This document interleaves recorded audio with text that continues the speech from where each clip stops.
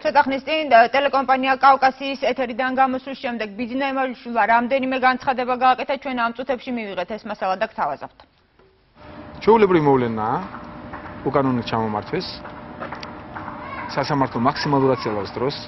რამდენადაც ერთადერთი ინსტანცია დარჩა ახლა უზენაესი.